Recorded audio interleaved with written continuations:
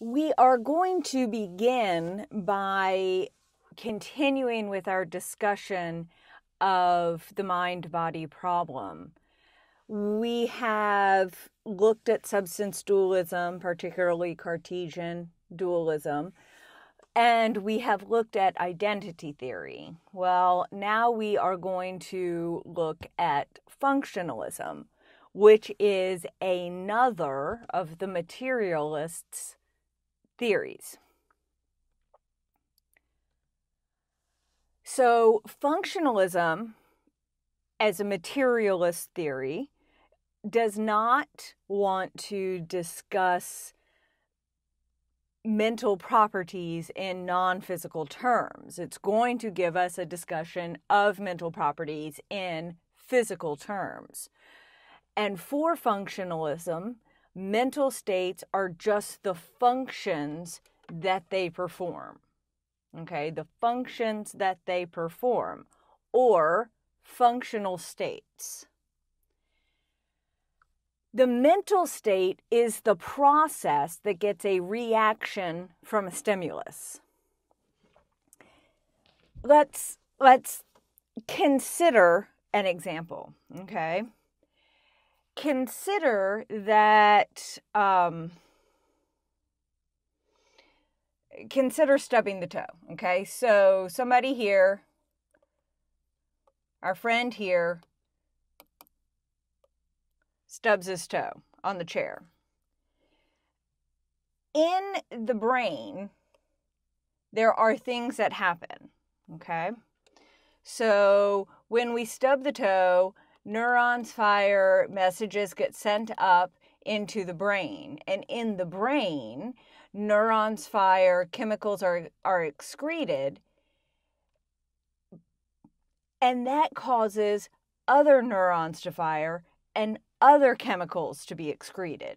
Okay, so this is um, at time one. Well, at time two,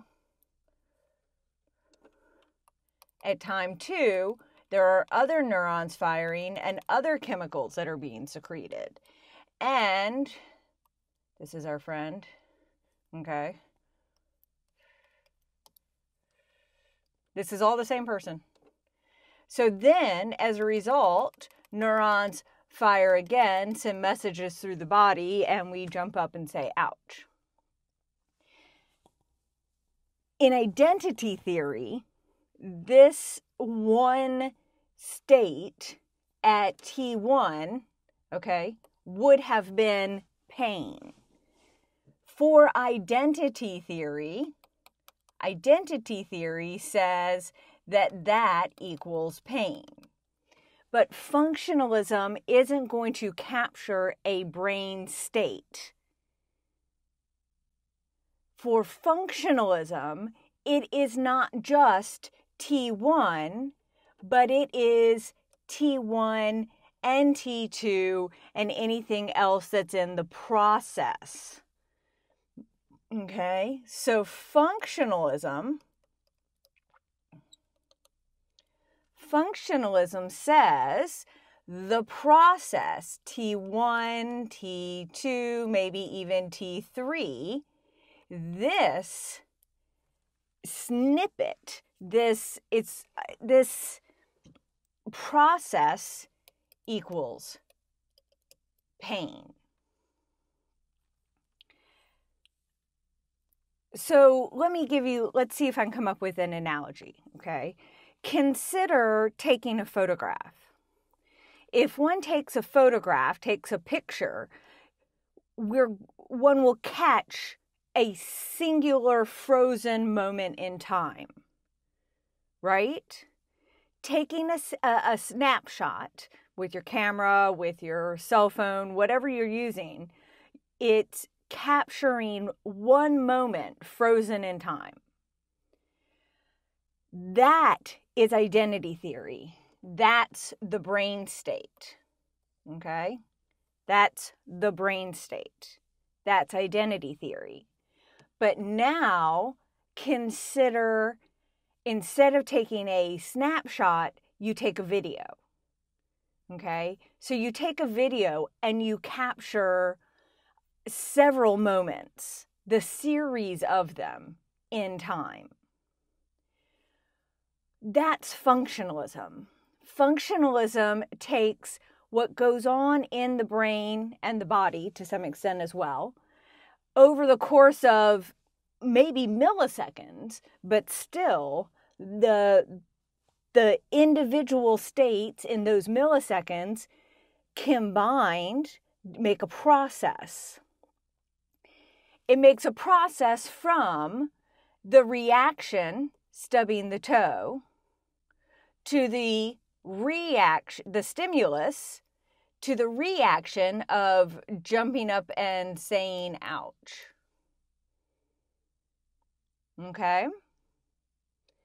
So, for functionalism, it's more about the several states as they create a process.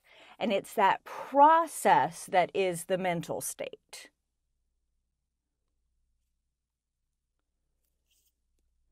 Does that make sense?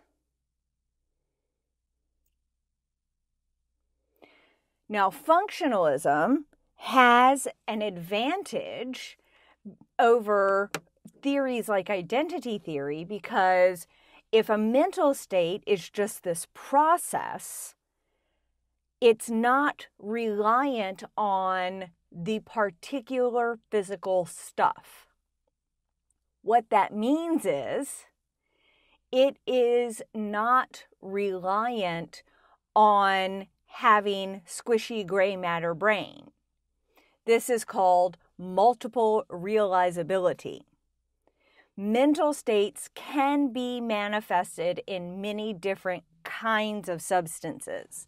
So the process can occur in squishy gray matter organic substances, or the process could occur in uh, gooey, icky, fibrousy substance like an ET, or maybe, just maybe, it will even manifest itself in electronic computer parts, substances.